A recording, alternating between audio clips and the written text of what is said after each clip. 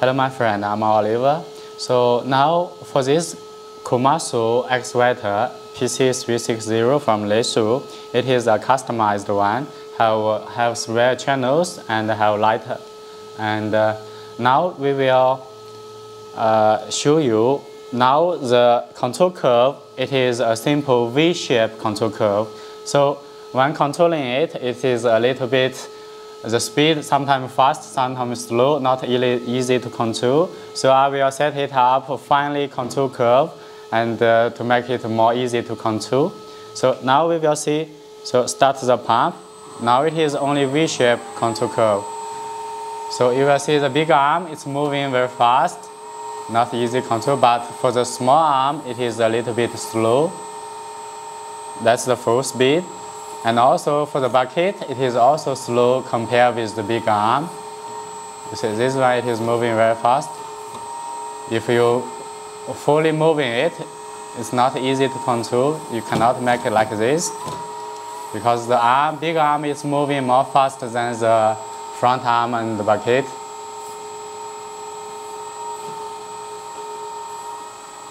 So you see the big arm coming down and up quickly but the front arm more slow.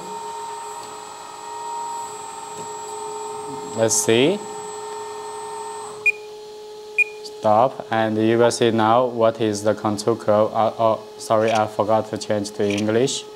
So settings, change to English, and uh, to see the Pro Mix, you will see the control curve. So J1 hydraulic pump, it is off. So now you see the control curve. This one it is for the pump start, it is V-type. And uh, we will see another control curve, the bucket, the valve open for the bucket, this control curve, you see it is only a straight line, so not easy. So for the big arm, let's see.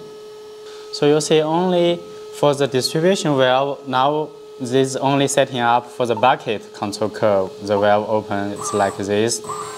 But for the front arm and the big arm, no have control curve to open the, the valve slowly. So I will set up, that I will show you uh, all the settings for the bucket, front arm, and the big arm, the distribution valve, how slowly to open it and to make fine control of it.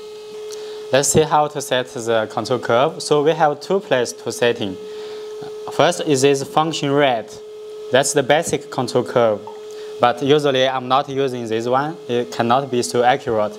So here I, I only using for the plate turning. You click, uh, click this channel 3 plate turning. So you will see here, you select, and it is only the basic changing of the curve, you see. So at the beginning, you start it slow.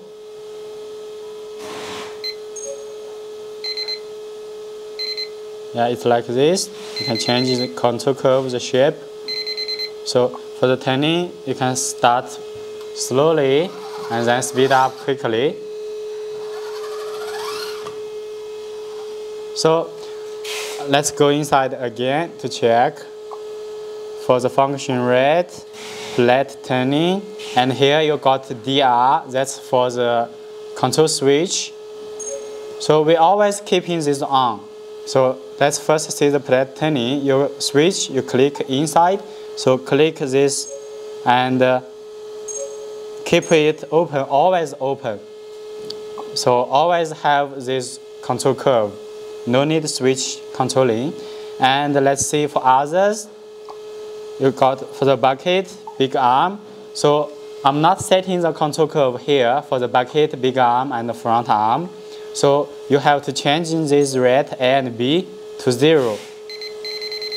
Changing, changing it to zero, it means it's flat.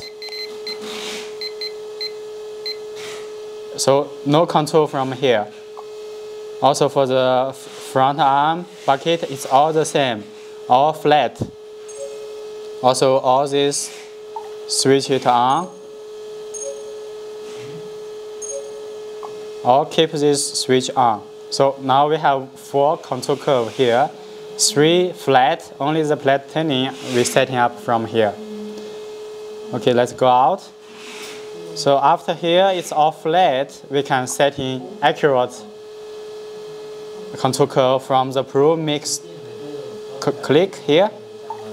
So number one, mix number one, J1 to CH2 means J1 to the bucket.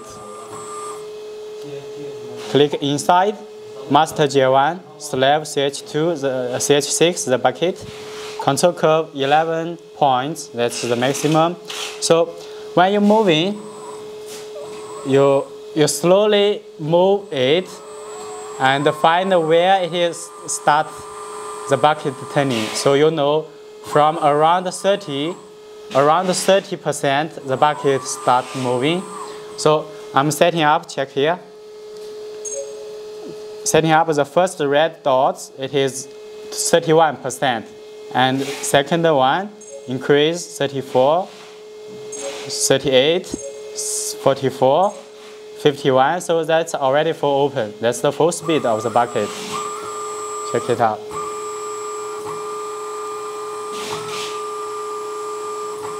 And downside, when the bucket doing the digging, I slowed it down. Check.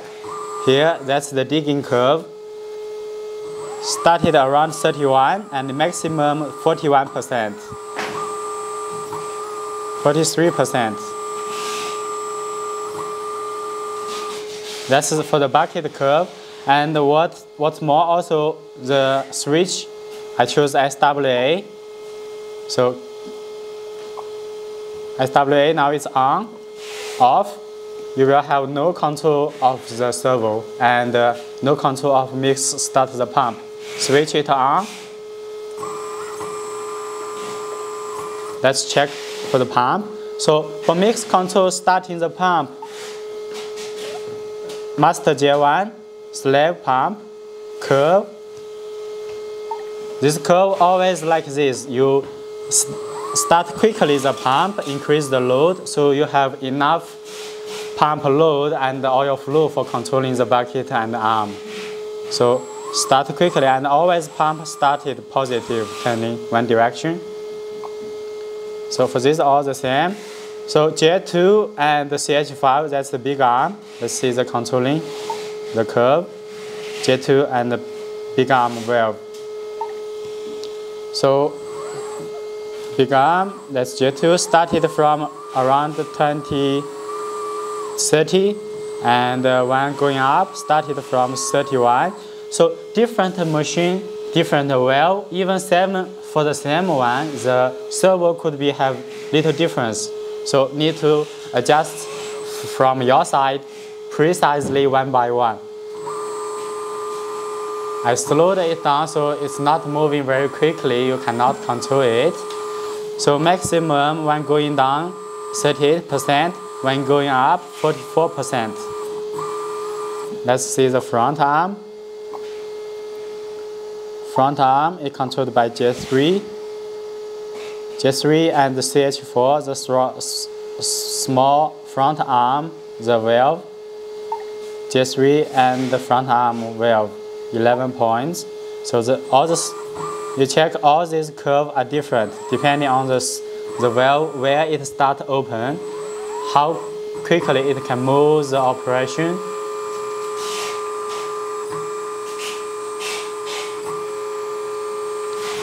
So that's the operation, how to set it up.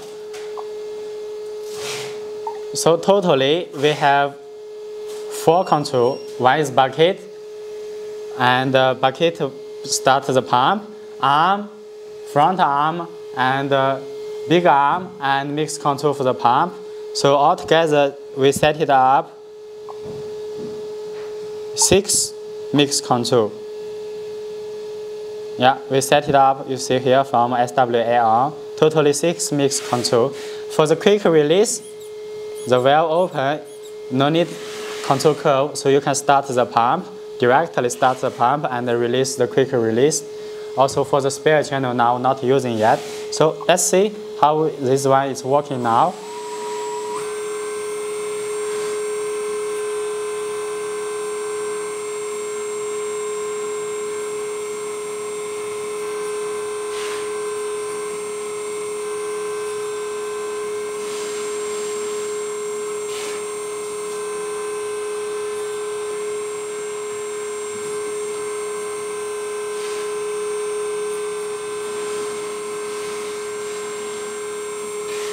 Also, if you want more power when you're digging, now it's mixed control, yeah. You also can start the pump with higher load.